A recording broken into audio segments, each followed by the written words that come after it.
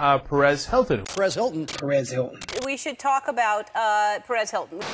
While dysfunctional characters are a dime a dozen on the internet nowadays, in the early days of the World Wide Web, that wasn't necessarily the case. So today we'll be discussing one of the original controversial figures of the online landscape. In the world of celebrity journalism, few figures have generated as much infamy and controversy as Mario Armando Lavandeira Jr., or as the world knows him, Perez Hilton. Before he took the role of groundbreaking celebrity gossip blogger, Hilton originally charted a different path for himself. After graduating from high school, he attended New York University to pursue his dream of acting, but he did not encounter much luck with the industry after leaving college, aside from a few minor roles in TV and film. For a period, he wrote for the gay magazine The Advocate, a job where he discovered his passion for blogging. Hilton launched his first blog, then called Page666.com, in 2004, and quickly realized what his site's gimmick would be humiliating celebrities. Demeaning nicknames, cheap jokes, manufactured rumors, and crude MS Paint doodles of cocaine or bodily fluids on people's pictures. Hilton left no tool unemployed in bullying the stars. Within only six months of his blog being launched, his web column was named by The Insider Hollywood's most hated website, which of course only caused a greater surge for the gossip page that culminated in it crashing temporarily. What Hollywood executives were correctly identifying was that Hilton was utilizing a modern medium to pioneer a new kind of tabloid, one that was free of charge for consumers and was able to achieve ubiquity far quicker than any magazine sitting behind a checkout conveyor belt. The rising personality took advantage of his infamy, proudly wearing the name given to him by the insider on the blog's banner. The website's name was soon changed to PerezHilton.com, based on his nickname that was a play on the then tabloid sensation Paris Hilton. And by 2007, Perez was reaping the rewards of his gossip campaigns, bringing in an impressive $50,000 a week just off early internet advertising, an impressive feat. But as his success grew, so too did his list of controversies and the public's hatred for the gossip peddler. So today, let's unravel the many scandals, confrontations, and drama that have defined Hilton's career. We'll learn more about this after a brief word from our sponsor. Back in the day, subscription boxes used to be pretty terrible, but luckily nowadays, Bespoke Post has solved most of the problems I ever had with them. Bespoke Post is a monthly membership club delivering a box of awesome, top shelf goods from under the radar brands. It's free to join and you can skip a month or cancel anytime. 90% of the products come from small brands, many of which are based right here in the United States. How it works is every month they introduce their members to cool new products, outdoor gear, barware, home and kitchen goods, and clothing based on a preferences quiz they fill out. And each one of these boxes have $70 worth of value in it for a fraction of the price. Every month you'll be assigned a box and you're able to decide if you want to keep it, switch it out, or just skip that month. The two that I really enjoyed recently was the On Tap box, which has an off-road growler and off-road pint cup set. This allows me to bring hot or cold beverages on the road and share them with friends. On top of that, I got the Explore box, which had a Nomad packable backpack M8 water bottle, survival LED headlamp, and toasted coconut plus vanilla bean bar. So to try out Bespoke Post for yourself and get 20% off your first box, click on the link down below and use promo code GFM20 at checkout. Again, use promo code GFM20 at checkout for 20% off your first box. This is a decision you will not regret. In September of 2005, Perez Hilton started posting articles on his blog speculating that former NSYNC member Lance Bass was gay. The first of these came after Bass and his girlfriend, Joanna Garcia, came out as a couple at a Hollywood party. In a post titled Lance Bass's New Girlfriend, which included a picture in which Lance was labeled Fabian Bass, Hilton wrote, Don't Lance and Joanna look like the cutest couple? Did anyone else see that episode of Kathy Griffin, My Life on the D List, where Kathy invites her gays and Lance over for game night? Wonder if Joanna will be up for the next one. The next post, which came on December 17th, was written in response to the ex-boy band member making an appearance in the latest issue of the magazine, In Home Weekly. The post was titled, Lance Bass Comes Out of the Closet, and read, Lance must have known this would scream flaming homosexual, otherwise he wouldn't have done it. And if Bass weren't prepared to publicly come out, then he wouldn't have brought his very cute boyfriend with him to the Billboard Music Awards in Vegas last week. We can't wait to see Lance on the cover of The Advocate in early 2006. It's about damn time. Three days later, in a post titled A Very Very Merry Christmas, Hilton includes an image in which he labels Bass a homophobic slur. On January 25th, after Bass responded to Hilton's attack via MySpace, another article was posted titled Homo Unleashes His Claws, in which the gossip blogger called him a fuming fa- Things continued like this for months as Hilton continued writing about the NSYNC performer. March 6th, in a post titled Dear Lance, Can't we kiss and make up and kiss some more? The former NSYNCer, a picture with Jamie Lynn Sigler and the fat one on Sunday, gave Perez the evil eye all night long at the Us Weekly party. Geesh, wonder why. Wink wink. P.S. Lance showed up without any male or female date. A month later, after discovering from inside sources that Lance had started seeing another man, Perez decided to get far more personal with his harassment of the singer. In a post titled, Introducing Lance's New Boyfriend, he wrote, Some of you may know this Ricky Martin lookalike. His name is Reichen,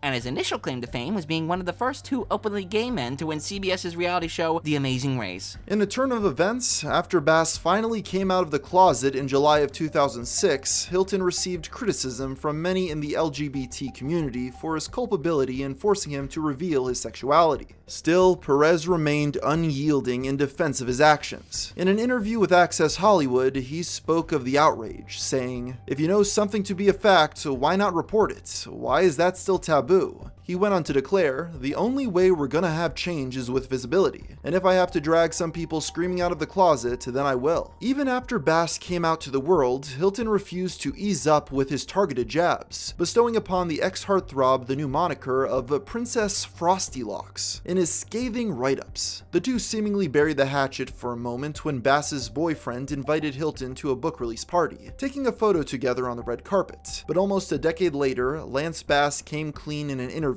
about how he had felt at the time, calling Hilton's campaign against him malicious. In August of 2007, in a post titled An Official Announcement is Coming, Hilton gave the world the ultimate inside scoop on Fidel Castro, the president of Cuba. Sources reveal exclusively to PerezHilton.com that U.S. officials will be holding a press conference shortly to announce the death of Cuban dictator Fidel Castro. PerezHilton.com was the first media outlet in the world to break the news of Castro's death. We posted this item on it last week. A Cuban broke the story of the oppressive ogre's passing. We are so proud and happy. We're so sad we can't be in Miami this weekend. This revelation blazed through the internet like wildfire and left many intently waiting for Castro's death to be formally announced. But hours passed and no statement came from US officials, and no major media outlets verified Hilton's claims. And before long, it was quite clear that the provocateur's insider information was not a reflection of reality. It would later be determined by the Associated Press that the rumors Perez had heard were sparked by a meeting of Miami officials, organized to discuss the city's contingency protocol for when the Cuban leader would die. The entire ordeal diminished any veneer of credibility that Hilton's blog had as a source for exclusive information, with other publications lambasting him for false prophesying. Two years later, on September 9, 2009, Perez appeared on the Tyra Banks show and was asked if he had any regrets from his long career of tormenting people and stirring up drama. In response, Hilton said that his misreporting of Castro's death was the one and only thing he wished he could take back. Ironically, that very year he ran into another scandal by asserting incorrect information in the opposite direction. On June 25th, it was reported that Michael Jackson had been rushed to the hospital after suffering cardiac arrest. Quickly, in an effort to put his own spin on the news, Hilton posted to his blog arguing that the King of Pop was merely faking his emergency to get out of his tour commitments. Perez's original post, with a picture of Michael Jackson and the text overlay heart attack or cold feet, reads as follows. Supposedly, the singer went into cardiac arrest and the paramedics had to administer CPR. We are dubious. Jax pulled a similar stunt when he was getting ready for his big HBO special, in the 95 rehearsal. Either he's lying or making himself sick, but we're curious to see if he's going to be able to go on. Get your money back, ticket holders. After Jackson's death was confirmed, Hilton made an about turn in attitude, pulling down the post and replacing it with one that read, Such a sad loss, especially for his three young children. This half-hearted apology did nothing to quell the wrath of the internet, which came down on the gossip maven in the following days, to the point that hashtag unfollowperez became trending on Twitter. Some celebrities called him out personally. You can't make your life tearing someone apart who is a human being and then flip on a dime and say respect and mourn him. Eventually, the public outrage dissipated, but the new low Hilton sank to was not forgotten by anyone. In 2009, Hilton found himself in the center of a hot political story when he served as a judge for that year's Miss USA pageant. During the final round of the competition, Hilton asked contestant Carrie Prejean what her views were on same-sex marriage. Carrie's response, in which she expressed her opposition to the concept, led to a public feud between the gossip blogger and the beauty pageant competitor. You know what?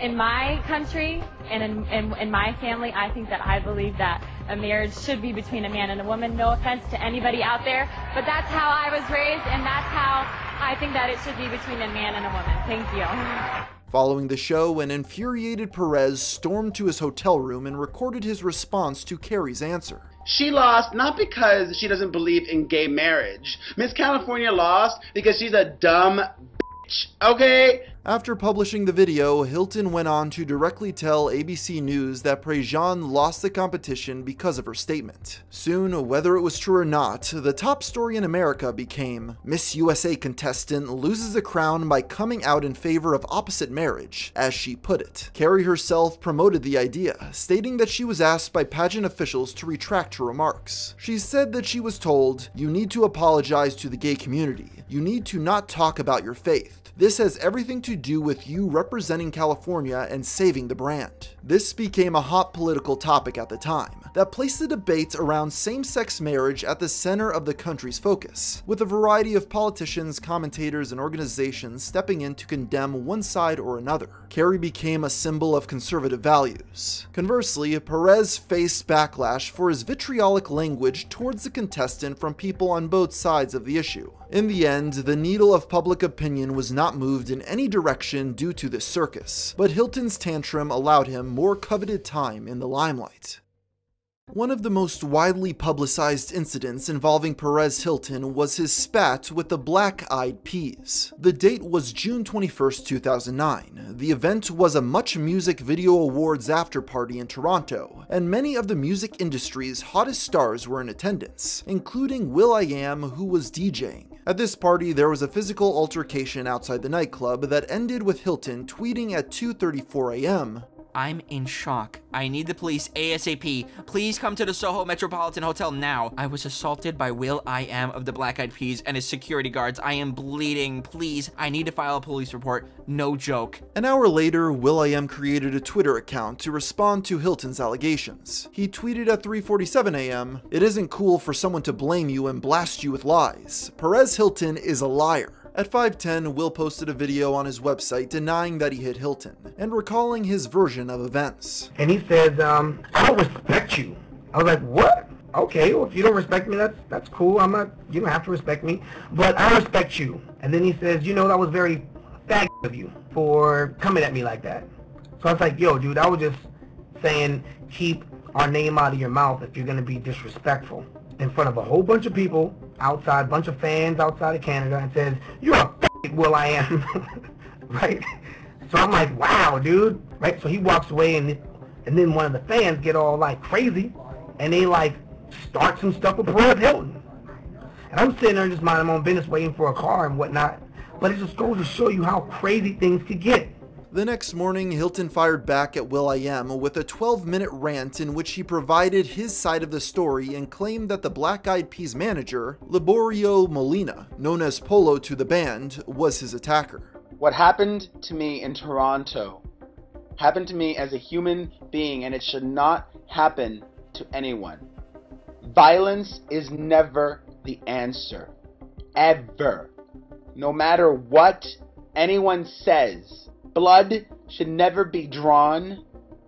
Another person should never be hit. In response, will.i.am created a second video, once again denying Perez's claims, and accusing him of craving attention over his own well-being. Shortly after will.i.am's second response hit the web, TMZ released footage of part of the altercation. In the recording, Hilton can clearly be heard calling will.i.am a homophobic slur, at which point someone clubs him in the face, although it's not clear in the footage who the person is. Hours after this video was released, Black Eyed Peas manager, Polo, turned himself into the Toronto Police in connection with the alleged assault. That evening, the Gay and Lesbian Alliance Against Defamation, or GLAAD for short, issued a statement to TMZ condemning Hilton for his slur usage and demanding he apologize. The next morning, Hilton issued his response to TMZ. I am saddened GLAAD chose to victimize me further by criticizing me for how I non-violently dealt with a very scary situation that unfortunately turned violent. While I doubt I will get an apology from GLAAD, nor do I expect one, I would just hope people know how difficult it is to intellectualize the situation and think rationally when a thug disguised as a musician is screaming at your face and intimidating you. While that was going on, Toronto police formally charged Polo with assault, a charge that posed years in jail for the band manager. On June 25, 2009, Hilton did finally apologize for his choice of words, saying on a blog post titled, I'm sorry.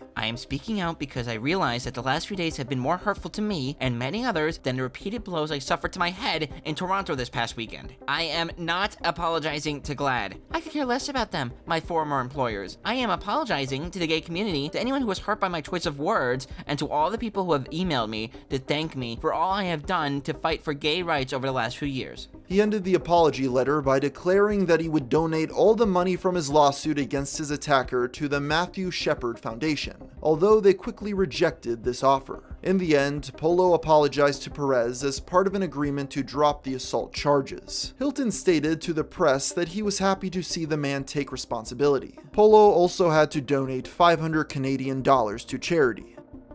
Usually Hilton's controversies involve a breach of good taste, but this next skirmish was a case where he may have taken a step too far and breached federal law. On June 14, 2010, he tweeted to his 2 million followers a link to an upskirt photo of an underage Miley Cyrus with the caption, if you were easily offended, do not click here. Oh, Miley. Warning, truly not for the easily offended. The internet responded in a quick uproar, admonishing Perez for posting a revealing photo of a starlet who was only 17 years old at the time, with many declaring that the blogger had disseminated illegal imagery. Some media outlets consulted legal experts, all of whom agreed that Miley had a case if she wanted to take the blogger to court. One described Hilton's actions as suicidal. The photo was taken down upon the thunderous backlash, but Perez wasted no time in broadcasting his defense, responding in a video on his blog. Do you think Miley is that stupid to be out in public without panties? In a fortunate development for Hilton, Entertainment Online reported three days later that Miley would not press charges, with a source close to her saying, she just wants to move on. She thinks it's the work of an idiot and wants to move forward. Undeterred by the outrage, Hilton doubled down on his behavior,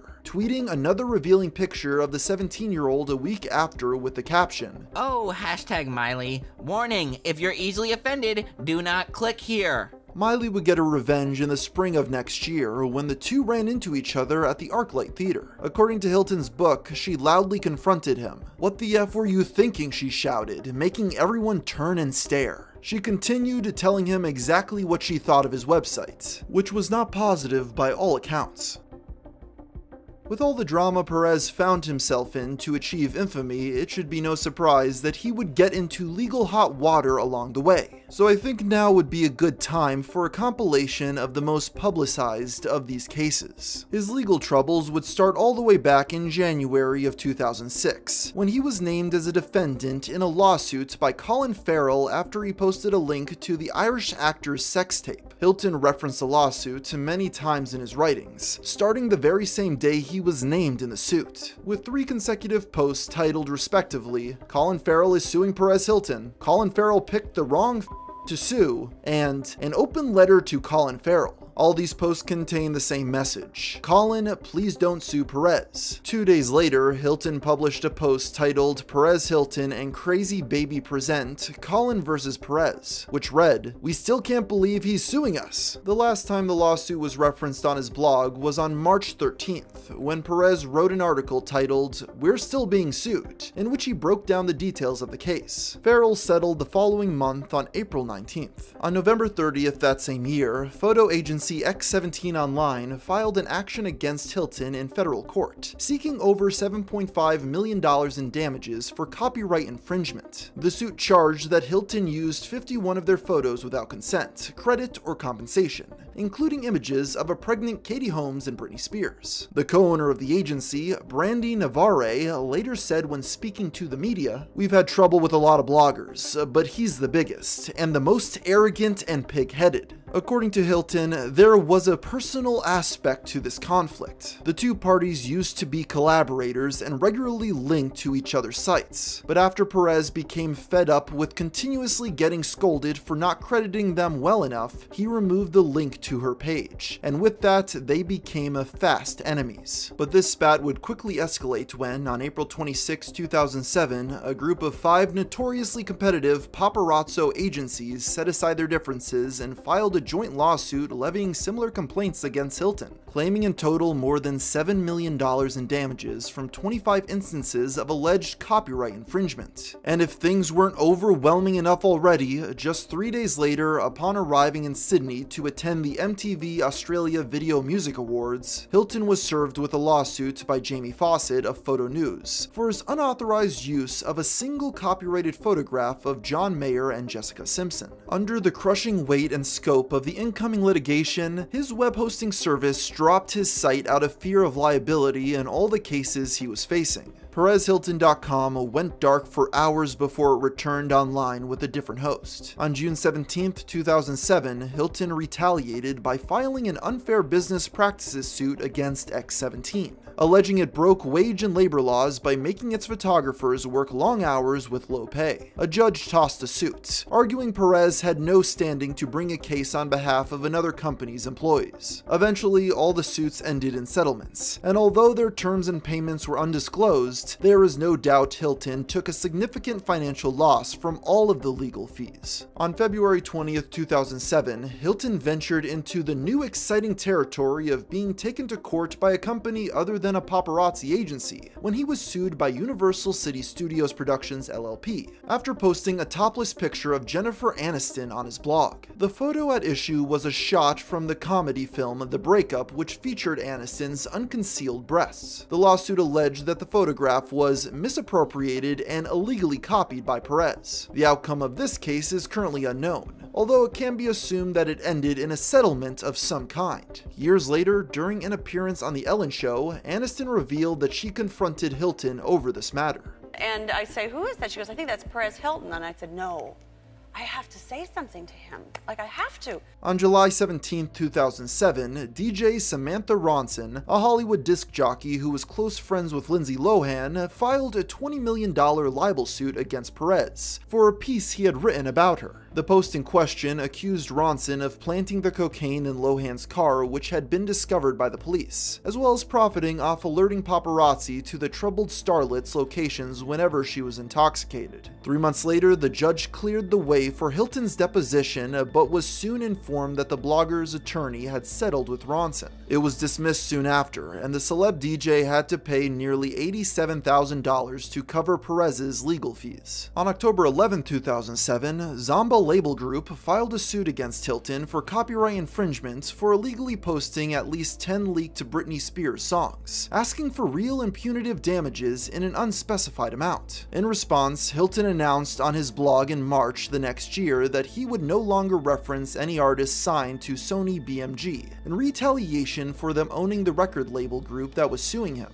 Once the lawsuit was settled, Hilton announced in a post on November 17th that the website's boycott was over. In 2008, Hilton was sued for $25 million by an Ohio woman named Diane Wargo. What possible beef could she have had with the infamous blogger? Well, it started the previous year when Diane, who worked as a nurse in a senior living center in Cleveland, sent Hilton an email that read, Perez, you are a fat gay pig. Angelina is a ugly whore. You love her because she is a Glover. Her brother is a gay little jerk just like your fat ugly ass. Mangelina is a disgusting, gross skank. Upon reading the obscene message, Hilton elected to post it on his blog, as well as Diane's full name and email address. Unfortunately for Diane, the email she used was her works, and it did not take long for the blog's fans to find her employer and inform them of her actions. She was fired the very same day. Months later, he brought her lawsuit against Perez to court, contending that he violated the conditions of use disclaimer on his website that stated the privacy of visitors would be protected and that personal information would be disclosed only by obtaining permission. Perez's lawyer argued that this disclaimer applied to the comments within the website, not direct emails. After a long five-year legal battle, Hilton was able to claim victory once the lawsuit concluded in arbitration. On May 2nd, 2012, Robert Prokop, who designed Brad Pitt's $500,000 engagement ring for Angelina Jolie, sued Hilton for libel, after he alleged on his blog that the New York jeweler had committed fraud in the past. In the post at the center of this case, the gossip monger had reported on an incident in which Prokop had been sued over a 1985 diamond necklace transaction in which the buyer was allegedly misinformed about the quantity of carats involved. While the text of the post got nothing factually wrong, the title certainly did, as Prokop had not actually been found guilty of fraud. According to the lawsuit which sought damages of $500,000, the statements that plaintiff was guilty of fraud in connection with his jewelry business and that a court had awarded a judgment against him for that fraud is libelous on its face. The outcome of this lawsuit is currently unknown to the public. Finally, on June 26, 2013, Hilton was sued by New York Times photographer Robert Kaplan for $2 million after he posted 14 copyrighted photos on his blog without permission, and with his own watermark. According to Kaplan's suit, even though his website contained preventative measures to block photo theft, Hilton circumvented these by simply taking screenshots of his work. The complaint goes on to describe how, after he had reached out to Perez to remove the photos, he was met with an apology and a promise to take down the images. This promise was never followed through on. Once the lawsuit was served, the offending pictures quickly disappeared from the blog. The case against Hilton, like many before it, was settled out of court.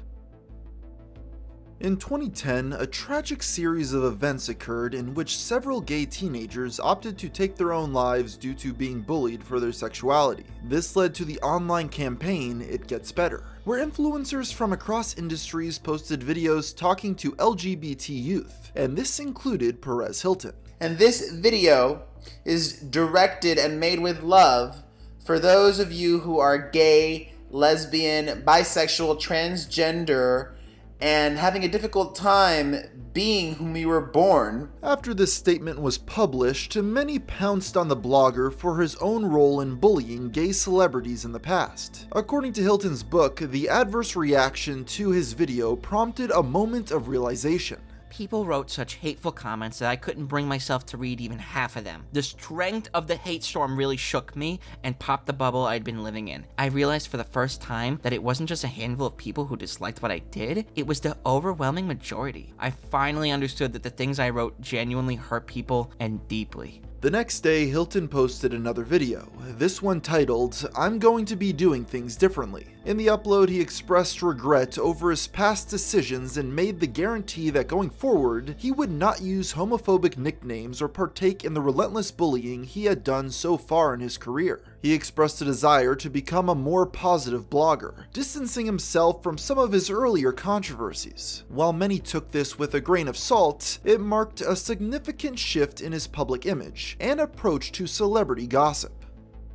On October 6, 2015, Perez posted a photo of himself in a shower with his two-year-old son. The caption read, Our family motto is hashtag fun. We try and incorporate fun into as much of the everyday things we do. Hashtag bath time. The photo stirred up drama, with many arguing that posting the photo was inappropriate, others arguing that the act of showering with one's son was weird, and some even going so far as to accuse Hilton of abuse. Others defended him, claiming that there was nothing wrong with what was in the picture. As one Instagram comment wrote, It's called normal parenting. Geez, some people need to get a life. Kiddo appears to be having fun, looks exceptionally healthy and happy. I'm not even a PH fan, but feel the need to support him on this. Perez defended himself against the backlash, telling the Daily Mail, Everyone does what they see fit as a parent. Personally, I enjoy putting on my swim trunks and taking a shower with my son as often as possible. In 2019, Hilton joined TikTok and quickly grew an audience, garnering an average of 10 million views per week from his tea spilling uploads. This was big considering he had fallen off popularity wise since his heyday a decade prior. It appeared that the industry of online gossip he pioneered had grown into a massive business, with him trying to get a bit of a career second wind through being a veteran of the trade. Unfortunately, on December 14, 2020, his account was suddenly banned from the Chinese social media platform, after getting mass reported by Charli D'Amelio fans for commenting negatively on one of her dance videos. In response, Perez posted to his YouTube channel, tearfully begging Charli to do something to get his account reinstated. I have reached out to Charli D'Amelio and her family. I messaged them on Instagram begging them for help. This video only caused the aging gossip monger to be further ridiculed by his detractors, with feedback like, someone who outed celebrities for years on their platform doesn't deserve any kind of platform. And just found this and thank you so much. I've had a horrible day, but watching a fully grown man cry over a social media account is awesome. You have spent your whole career going after and being horrible to others. We enjoy your pain. Eventually, he was able to return to TikTok in July of 2022, but only months later, he would once again be banned, this time for spreading unverified conspiracy theories about Britney Spears' whereabouts. He currently has no account on the platform, and this has been, to date, the last major controversy of his career. From harassing minors to leaking nude photos, to outing closeted celebrities, to exploiting the mentally ill, Perez maintained a thoroughly varied career until his medium of attention-getting blogs was antiquated by newer, more stimulating social media algorithms and influencers. While he was once on the top of Hollywood, being named the number one web celeb by Forbes magazine three years in a row, getting invited to prestigious parties, and rubbing elbows with the hottest celebrities, he now has been relegated to posting content content on his two small YouTube channels. In one of the podcasts he's appeared in over the past few years, Hilton uncharacteristically said something rather interesting. Like you, like you think you're past the point of redemption with a certain Yes. group of people. And I don't need to be redeemed. Is it true? Can there be redemption for Perez? Can he ever win back the hearts and minds of the public? Only time will tell. It's crazy to think that 20 years ago, Perez Hilton essentially invented the tea spilling community on the internet, with it still expanding to this very day on YouTube and TikTok. And with that thought, I think I'll end the video here. So until next time, thanks for watching.